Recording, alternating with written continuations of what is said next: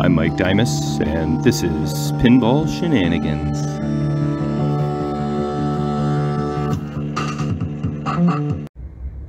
Alright, if all goes according to plan, could be pretty darn close to finished. I probably have said that like five times now though.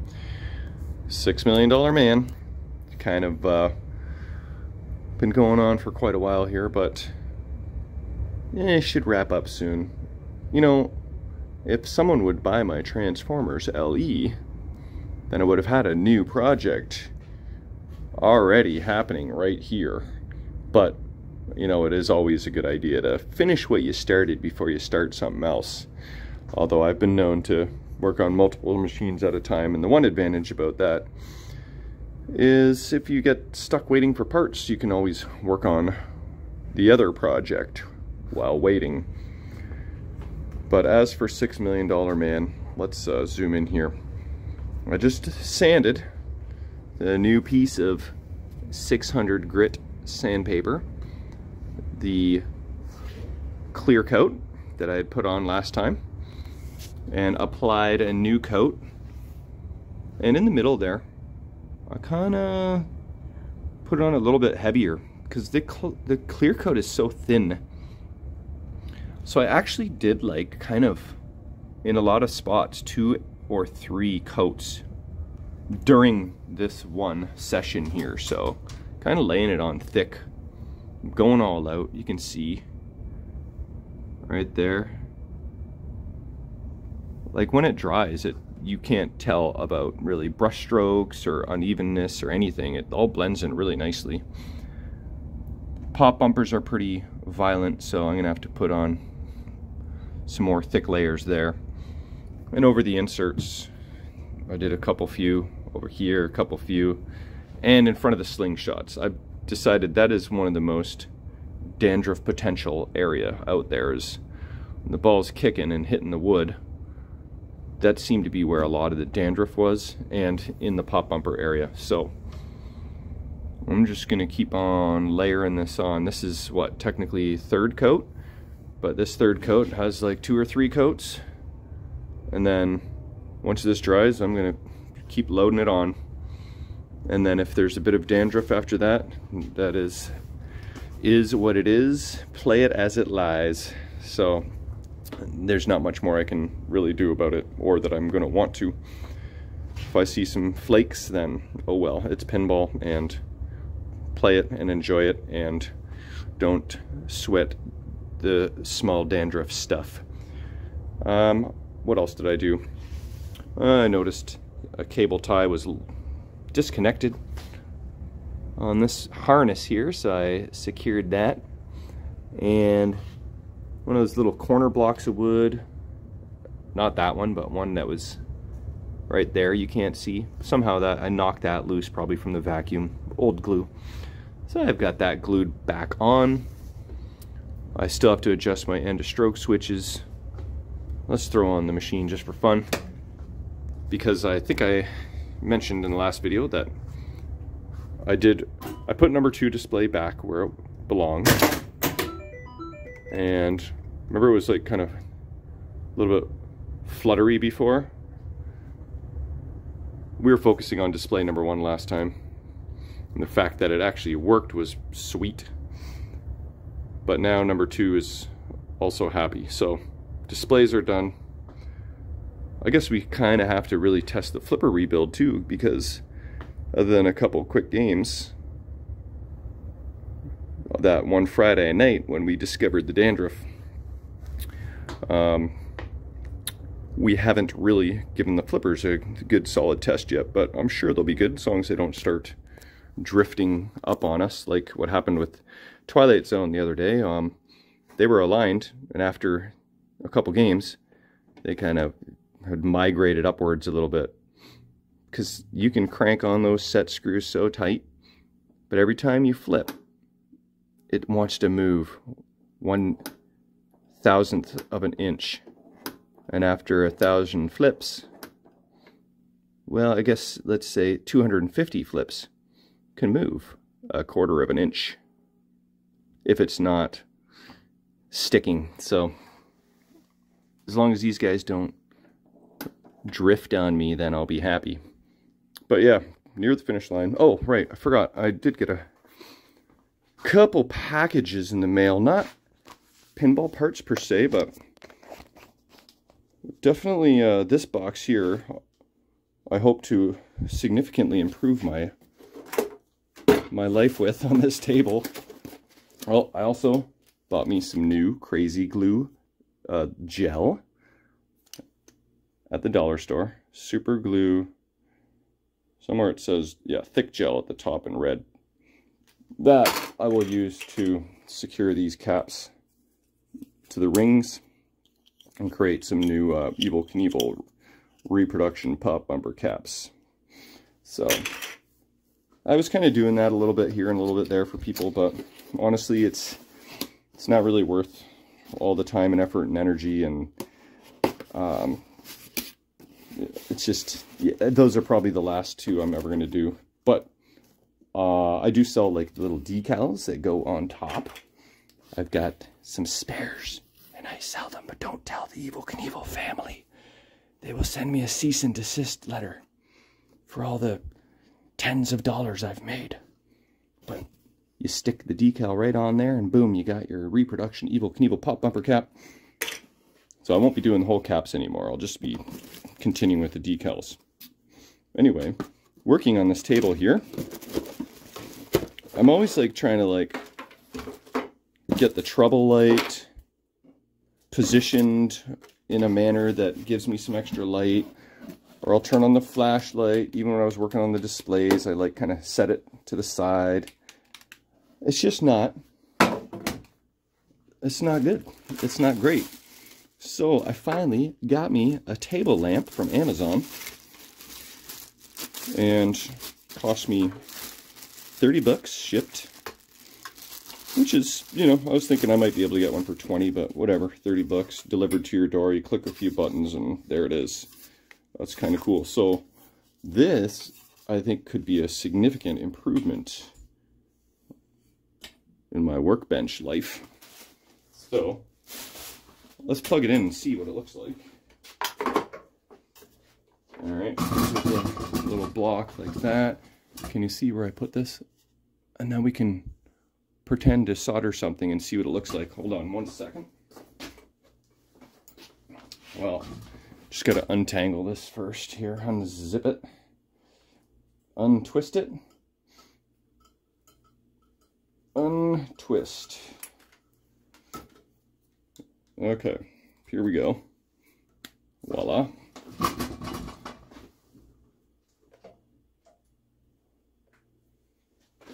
All right, so, oh yeah, the switch is on the wire. Let's uh, see what we got. Okay, so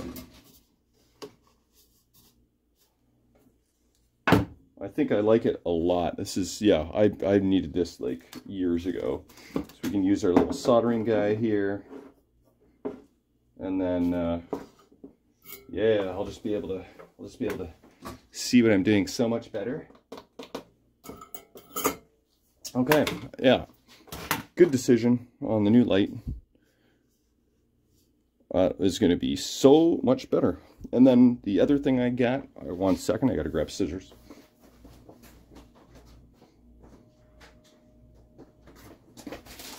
This is, again, not necessarily pinball specific, but it could be useful. I think it was uh, Ed. Is that that your name, Edward? That I met you at uh, Maple, and you had one of these guys while you were working on your black hole over there. Um, I had been thinking about getting stencils. I went to Maple Pinball what do you know? Ed was using stencils. I hope I got your name right. I'll have to check my notes or my messages. Uh, there's so many shenanigans out there. It's really hard to keep track of y'all. And then you got like a Facebook name, a real name, a Pinside name, a YouTube name, Pinball Revolution name, and can I keep track of, and your avatar name? Like, no, not. Okay, so this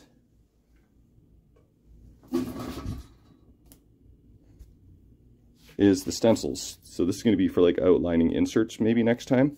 But Ed told me that make sure you get the one with the little nipples. Because then, after you've traced out your circle,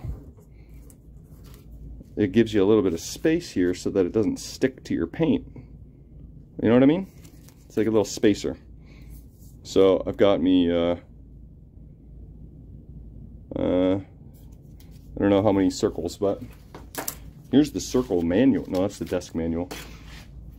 The circles don't come with instructions. The one time I want to read instructions about how to operate circles. Let's see here. Thickness 0.03 inches. I was just kind of curious. Oh, there it is. 44 circles. Oh, I could have done like some challenge, like how many circles is this? And then take it away and you guess. Whoever guesses closest wins. Absolutely nothing. Uh, but yeah, that's what I got in the mail. I'm going to go uh, see what else I can do productively tonight. And uh, I'll report back if I, because uh, there's not a lot left to do. On 6 million, I got to wait for it to dry. So we'll see what else I can find in the meanwhile. Okay, while we're waiting for clear to dry, we might as well try and assemble these pop bumper caps. And this could be kind of a tutorial on how to make your own reproduction Evel Knievel pop bumper caps in a way. Uh, but we're going to use the brand new light here, which is already going to come in handy. So that's pretty sweet. All right, put that there. Nice illuminated work area. Okay, so when I've ordered these from Pinball Resource in the past, they've come already together. For whatever reason, this time they're separate. Uh, these are slant dome, so they're thicker on one side and thinner on the other. So we got to line this up so that the slant is at the top and the, the thinnest part's at the bottom, you know, on these points here. Otherwise, it will be kind of wonky. So that's the first thing I have to consider. So I figure I'll mark the thickest part here there's a tiniest little tab right there. But I don't know if that is just from the molding process or if that is a mark for the actual thickest spot because it's pretty darn close. So maybe that is. Yeah, maybe that's going to be the mark because it's that's about the thickest spot. So we'll even mark that. Just a little black mark there. And would it be ha happier if I zoom in? Would that make life better? It's such a small mark that you can't even see it. But that's the goal. We don't really need to see it. Okay, that, that look like the thickest? Honestly, it looks like maybe over a little smidge. Could be the thickest. Okay, minuscule detail, but we gotta we gotta make sure that that happens that it goes to the top of the ring. Okay, get in the ring. What is that from? That pinball quote. Okay, so I need to uh, poke a hole. Should I use my uh, lead here? Probably shouldn't use my multimeter lead. Let me get something more pokery that's better for the job. There we go. We'll use a nail. Okay. This stuff, if you're careful and don't get glue all over the place, you can use it more than once, but it's typically kind of a one-use application. Anyway, I ordered two sets here. Why they gave me six of the dome portions or the slant tops, I have no idea. But uh, let's see, like how far do these get inset? Like, I don't want to get glue all over the place. That'll look stupid. It'll look very stupid. So, what is the, maybe I should just put the glue on the back side. Yeah, that's what I think I'll do. Okay, so we'll align this. I was gonna maybe put it around the rim and then install it, but I think there's a better chance that I'm gonna get glue all over the place if I do that. Oh, by the way, I just found out that Teolis is running a tournament at Maple Pinball coming up uh, May 9th. It's doing three tournaments in one day. Uh, Flip Frenzy, uh, Fair Strikes, and a, I think a match play. So I'll be going to that faux show. That'll be fun. Okay, you can kind of see my black line is lined up to the top there. So my slant will be happy. And then I think I'm just going to do this. Just a little bit of glue, like so. I like that. That way I don't make a mess of glue on the top side. So that's actually not bad. That's easier than I thought it was going to be. So, I got Eli's cat hair. We can't be gluing that onto this. it would look like pube on your pop bumper cap. It wouldn't be cool. Okay. So I'm going to use this little nick here and stick that like so. The nick is right there. The edge is right there. Let's pop it in and see how that looks. Yeah, I'd say the thickest part is aligned and the thinnest part is aligned like so. Yeah, I think I'm happy with that. Okay, we'll glue that. like so. Trying not to get too sloppy with it, but it might be too late. Okay. Uh-huh. There we go. Okay, I just got to clean this off. Or maybe I'll do the other ones. I'll just uh, do that after. You can only tolerate watching uh, two of these. We don't need to do a whole friggin' assembly line. Okay, now this is, I, I don't normally I wouldn't normally apply, but since we're rolling, we're going to apply it right now before the glue is even dry. So these are the decals I had made, all right? Like I said, don't tell anyone. especially, especially the Evel Knievel family. Okay, sorry, I'm just trying to peel one of these off. They're like clear vinyl. Whoa, because you cannot buy these reproduction Evel Knievel pop bumper caps anymore. They're like hot stamped. And Steve Young doesn't make them because he doesn't have the license from Evel Knievel. And I'm just making a couple for, uh, you know, friends. It's not like a friggin' Evel Knievel business I'm running here. So, just got to line this up ever so perfectly. It's a little more difficult to do it with the camera in your face. There we go. Oh, I can never work with crazy glue without getting it all over myself. Okay, let's see. I think that's pretty lined up. Do I have an Evel Knievel pinball machine right now? No, I do not. But I'm going to save I think what I'll do is I'll save one set for if I get an Evel Knievel. Because this, if I sell this, like, invariably, tomorrow's gonna, someone's going to call and say they have an Evel Knievel for sale. I've had a few over the years. Um, probably four or five, maybe. Uh, I do have a record somewhere, maybe. Or maybe not. Keep track of some crap. Some crap I do not. Okay, that. That's pretty good, actually. Pretty good. Okay, so here we go. There you go. That's your Evel Knievel Pop Bumper Reproduction Do-It-Yourself Kit. That's turned out pretty good actually. Um, not that much more of a pain in the ass to have to glue the uh, slant dome toppers in, but yeah, all right. Okay, still got to wait for some more clear to dry, but I'll uh, see what else I can muster up in the meanwhile.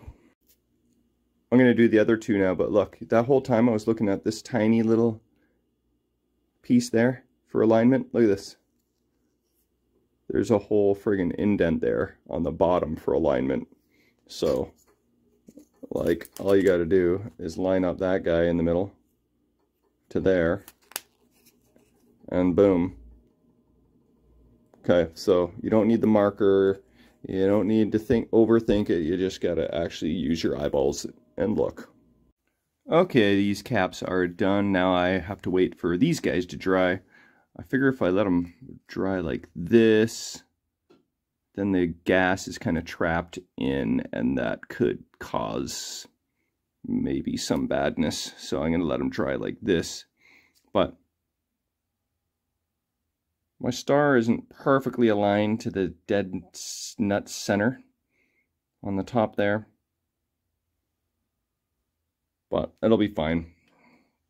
Some are better aligned than others. That one's like almost perfect. That one's almost perfect. And the last one, pretty darn close. But yeah, so, okay. Those guys are done. And uh, moving on. All right, next thing I think I'll do while waiting for stuff to dry is test and organize these uh, fuses that came in that coin box. This one, I don't think I need to test that one, but uh, we will amalgamate these into the grand scheme of fuse things. That's the next thing on the list. All right, that's all done. I think I had two 15 amp fast blows several 20 amp fast blows. There was a 1 4 amp slow blow, some 5 amp flat fast blows, and some 3 amp slow blows. So add that to the pile, and uh, all good. All right, next thing on the list. When we were playing this uh, game, maybe last week or the week before, we are kind of cheating and using the continue button, which I like almost never ever use, but we wanted to try and get deep into this game. And uh, we did cheat our way to the wizard mode. but uh, you can probably see right now which light bulb is out. And it was kind of throwing us off just a little bit because we weren't sure for surezies surezies that we were on that mode. But there it is. I gotta change a light bulb. Yep, that's what I gotta do, change one light bulb. But I was almost thinking of doing a gameplay video of this where I try and cheat my way to a wizard mode because I don't know that I can get there. Otherwise, it is a tough game. There's a lot of shots. This is the first mini wizard mode. This is the second mini wizard mode. I think I got to this legit. This one I've only been to mm, once or twice by cheating. I think maybe just once, actually. Yeah, it was, because that mode forced you to hit this color changing ball like six times, I think. The It's really cool how the game progresses, actually. I really should take a gameplay video of it. I think I might do that and cheat my way to the finish line if I can. Because I've tried to cheat a few times and still didn't make it. Allows you to buy an extra ball like 10 times. So it's like a you know 13 ball game and uh, I've tried a few times and only made it once so it's difficult. But the further you do progress the more like shots it forces you to make like this shot that light that insert comes on. You rarely see that insert. And then this one presto changeo. You never see that one I don't think that's telling you to hit this specifically until you get to power change mode.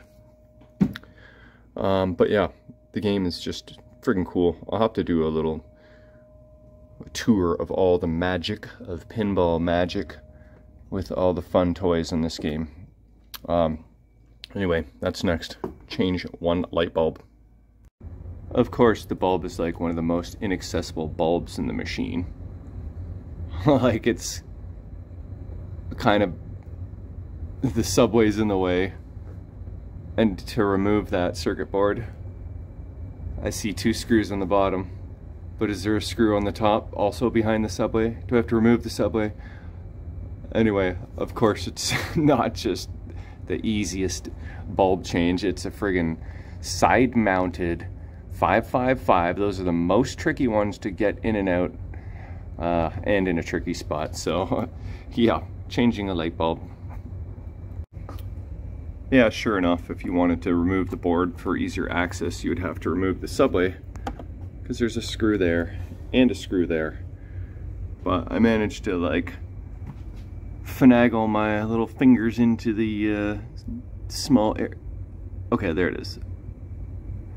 Um, oh, mother's calling. I'll be back. But I got the bulb changed. Yay. There we go. Well, if I turn off the light, it'll look better, sort of. We can see it better the one cool thing about Capcom games, at least Pinball Magic, is that every single bulb is controlled. And in certain light shows, they go from like very dim to very bright. And it's a really cool effect. And I probably mentioned this before, but that's the reason I didn't LED this machine. If you do get an LED OCD board, you can probably counter that, but if you put these into LEDs, LEDs just turn on and off and they don't do the fading thing. See, look. See, it's kind of... I guess if you look at the whole playfield, you can kind of see it better, but it comes on and off nice and slow, and you totally would lose that with LEDs, unless the LED OCD board does exactly what it says it would do, but I think it's like 500 bucks, so this is one of the only modern machines I think I never LED'd that I kind of like, you know, did up for my collection. That may not be true, but yeah. All right, that is done. Okay, next thing to do on Ghostbusters, I just noticed that's kind of common on many games, maybe even Stern. This switch here is starting to bend outward they have anti-sway switches that you can get. Oh, I think I have one that I was going to use on Whitewater that I didn't. I could potentially install that on there. But for now, just wanted to move that over a bit because that shot is friggin' tight enough as it is. And uh, every time you try and get up the ramp and you clip this side, likes to bend that way. So maybe I'll bend it over a little bit more to the right so that it'll take many more ramp shots to bend it all the way back over to the left. But that's very minor, but that is always on the list, and now it is not. Okay, the clear coat is dry enough that I can kind of mess with the end of stroke switches now. So let's see how they behave here. I want them about an eighth apart. Let's see. I think I'm happy with that. And let's check the other side. I got a little bit of a spark there, which is pretty common. You know, in modern games, more modern games, they put the uh, capacitor on the end of stroke switch to help stop the sparkage and, you know, pitting that ultimately can be caused from that.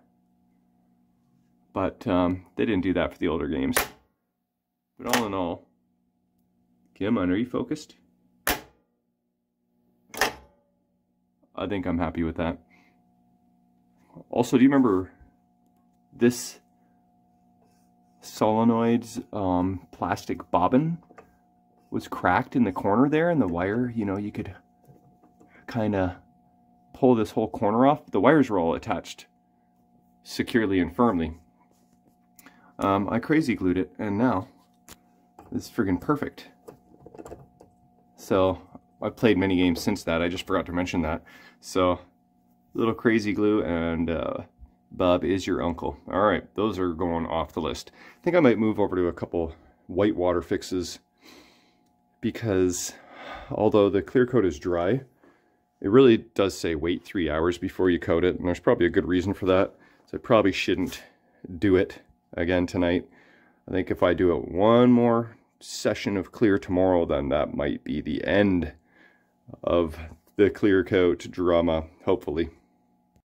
Did I say whitewater or did I say whirlwind? I don't know, but I feel like I might have said whitewater. It's whirlwind that I want to check. Basically, the left in lane switch, I know for sure is intermittent, and the upper right flipper is, uh, it's not settling very well. Just, it's sticking a little bit. I got to address that. Uh, sometimes the ball, when it's kicking out of the uh, cellar there, it's hitting the top of the sling, I think. Maybe this the top right of the sling, like it's clipping the sling, so I might tweak that a little bit. Oh, and the other thing is when you hold the flippers, like just trapping the ball, if you hold it long enough, it goes into ball search. Like that shouldn't be the case, should it? So I got to look into that. Also, my hard plunge is not kind of going all the way around consistently, but I think because the ball travels like six linear feet in a S trajectory that it needs to be a perfect plunge in order for it to make it around. I don't think that it's the strength of the plunge at all. I think it's the trajectory is not always perfectly consistent, which is understandable since it's traveling. Here, let's take you over there. I'll show you what I mean. So the hard plunge, ball's got to go all the way, follow this track. Nope, follow this track, and it's got to not clip anything there. If it clips anything there on the way in, it's not going to be clean. Then it's go all, goes all the way back there. Can't clip anything around there. Then all the way around back there, over that switch, over that switch. Then it's got to make its way to this flipper. So that may just be, like I believe I tried to align for that when I was putting this together. And it's just one of those things that's not 100%. I think high speed is a similar, you know, issue. It's not always going to be a perfect plunge. It has a very similar plunge. And um, I think Secret Service had a similar plunge. All those plunges that cross the playfield and loop around. So I think that might just be it is what it is. Sometimes it'll work, sometimes it won't. But I'm going to check on these things and I shall report back. Okay, so I tried to adjust the switch in place and I wasn't really loving it. So I removed the switch from underneath, manipulated it, tweaked it. Now we're in switch test and going to see uh, if it works consistently. So I don't know if you can hear the volume, but it's making a little thud. Here, listen. All right, that's what we're listening for. So,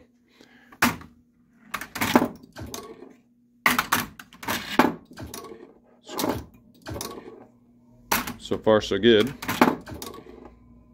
Can't, my ramp is up and I can't really drop it very easily, but let's try that. Yep, Let's try again zoom out so you can see that a little bit better. Hey, look. My center post needs to be tightened. Ah, okay. Um, here, I'll let you see. Left return. Try that again, even faster. Left return. Okay. I think I'm happy with that. Throw it down there nice and quick yeah, it doesn't matter. Blue bumper stops it anyway. Okay, um, I'm happy with that. I'll tighten this bad boy up. Uh, don't know if that's T-nut underneath. Probably is. If that's the case, I probably can just use quarter inch wrench here. Should have quarter, oh yeah, probably in here.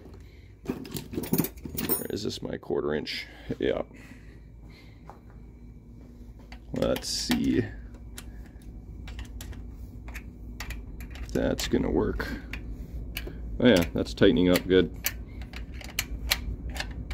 Maybe just over time the ball smashing into that loosened it or somehow I just never tightened it. But there we go. That wasn't even on the list and it will never make it on the list. Okay, So the main thing now is upper flipper. Jeez, look at that. I wonder what the F is going on there. Okay, well, I'll be uh, investigating that. I will report back. Okay, so far, I haven't identified anything yet. It's really free and clear when the playfield is up. And also, I've got my little up and down leeway, which is what you want. Okay. Um, it looks like did a pretty thorough rebuild on this flipper. A new sleeve, plunger, link, crank, stop, uh, and a stroke switch. So everything's pretty much rebuilt. The only thing I noticed is this one screw here. I don't know if that was always loose or just kind of worked its way out, but one of the bracket screws is a tiny little bit loose, so I'll check all the others. Oh, yeah, yeah. Oh, look at this. Oh, I was going to say one screw is missing there, but that's not true. Um, there's an insert there, so a screw cannot go there. That's where the red bulb is. Shouldn't do this while recording with the machine on because you're going to electrocute yourself. Um, but so far that's the only thing I've discovered. I got to keep investigating here to see what the F is going on. Okay, I've caught the flipper in the act. I manually lifted the flipper and then slowly raised the playfield. So it is currently in its stuck position, but it's so like subtle. I bet if I just touch anything, it'll fall back down. So even just lowering the, I mean, raising the playfield the first time it fell. So I don't know, that leads me to believe it's more of an alignment thing than anything else. So I think I'll kind of take things apart and kind of put them back together again. Maybe, maybe put in a longer sleeve that kind of pokes out a little better because maybe that'll help with the alignment. Because that sleeve, you can barely even see it, so. But yeah, I think I might be onto something. I gotta say, I'm loving this lamp already. It's just lighting up my life, but for real, oh, I really could have used this months and years ago. I don't know why I just thought of it, but uh, yeah, much better. Okay, so here's the old sleeve. Now, it's only got a, maybe a couple hundred plays on it, so I'm not really blaming the sleeve. But I'm going to use, well, I mean, I did use the kind of clear Pinball Life ones. Pretty sure it's Pinball Life. It's uh, like 1 16th of a bit longer. So I don't know that's really going to make much of a difference, but I did um, take the flipper apart to take the coil off. I mean, clean the inside of the coil a little bit better. Some Q-tips and rubbing alcohol. I actually did have to remove this lamp board in order to get the coil out because it was in the way. So everything's taken apart, new sleeve, kind of cleaned up a bit, put back together again. And I don't know how easily I can do this one-handed, but we're going to try. Let's see. Actually, okay, I'll just hit pause. I'll be right back. Okay, so this is the test right here. Again, I don't have a whole lot of faith.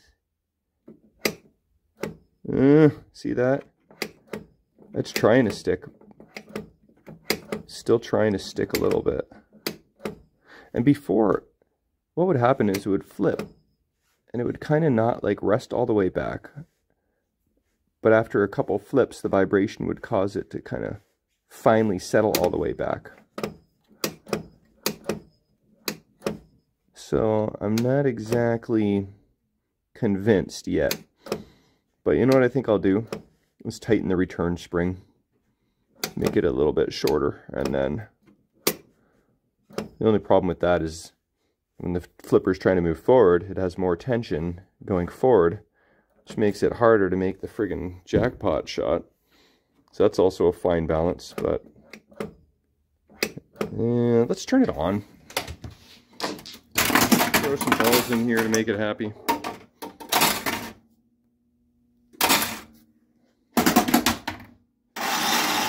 All right, you found your balls. You're happy now. Oh, like. Okay. Let's see what happens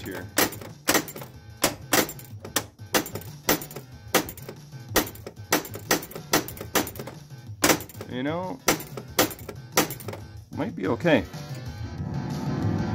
Oh, the other thing I should actually consider is changing the alignment of the flipper. Like maybe if it's up a little bit higher, might be able to make that ramp shot easier. You think? Or maybe back further? I don't know. I'll have to check some photos.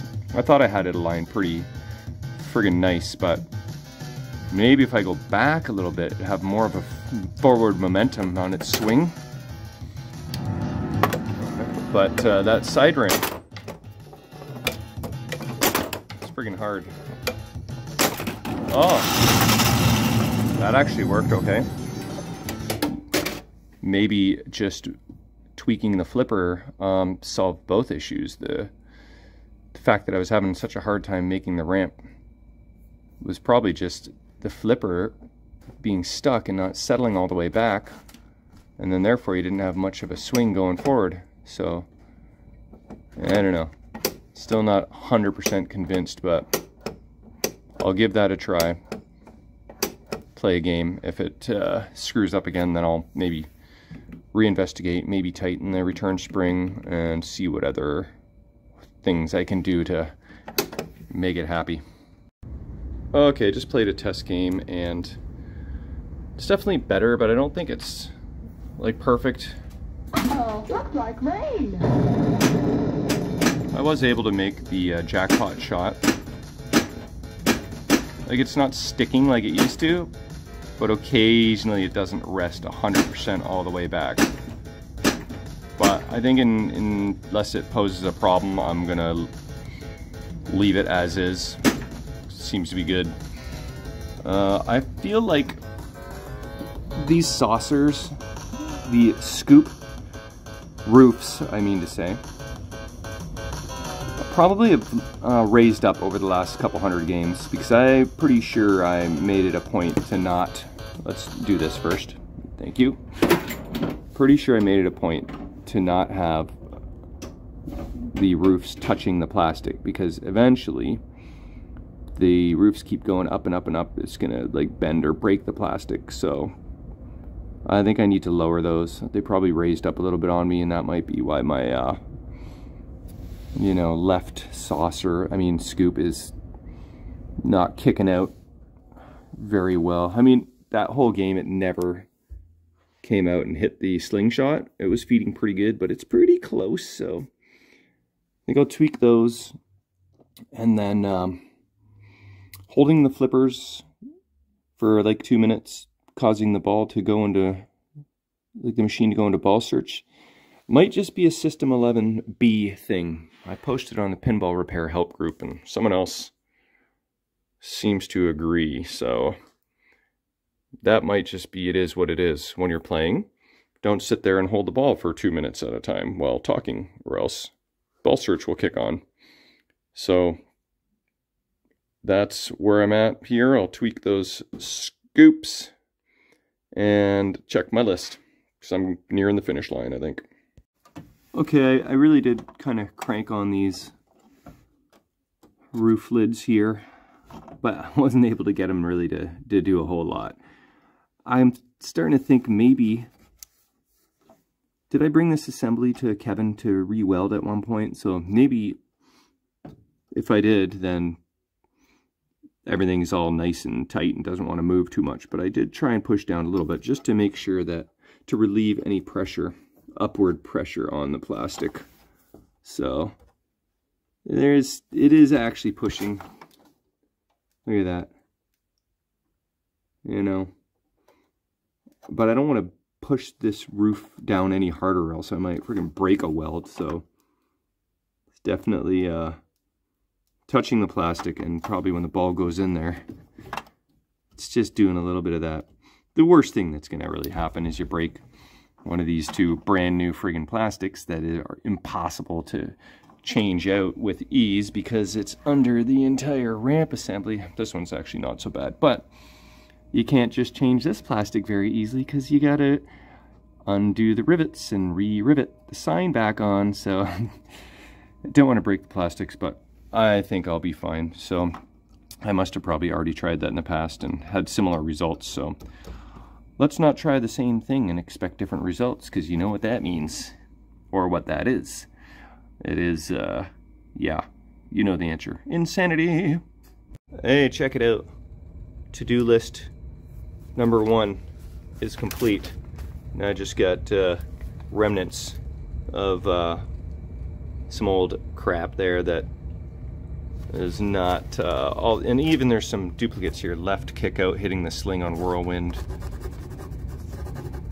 And the hard plunge thing, I think that's just gonna be, it is what it is on Whirlwind. Holding the flippers equals ball search. You know what, that might also be an is, it is what it is, so. Unless uh, there's any serious problems from any of this, then uh, they're off the to-do list. And uh, obviously if something pops up that is a problem, it will go on the list, but right now, oh look, see sometimes I write it down more than once. Whirlwind left inlane switch. Another duplicate, okay. That's pretty sweet. Look at this, I should start a brand new list and tidy this up. Yeah, all right, that's pretty sweet. All right, there's the revised to-do list. Pretty much nothing. A couple things that were on there weren't really a problem anymore. Like one was like Pinball Magic sometimes ball a couple times got trapped in a weird area that was impossible to find it and get it out but that hasn't happened for so long that it can come off the list. And so what's left is Lord of the Rings Palantir switch likes to still move even though I put an anti-sway switch on it switch bracket. And then tag team I think it's got a bit of an issue uh, when you stick a ball in the right saucer sometimes it got confused and wouldn't like kick out another ball because the right saucer is a lock at times. Or maybe even not when it's locking. So I thought I fixed that and then it happened in the upper left saucer which is a different lock and then it wouldn't kick out a ball. So tag team is just a um, you know it's a topper holder right now so not going to really worry about that just yet. If I ever run a tournament in the near future or even a funsy one then I'll clear this off and see if that issue pops up again. But that's really it. I mean, the games room is pretty much darn close to 100%. So that's a good state to be in. So I guess uh, I'm done tinkering for now.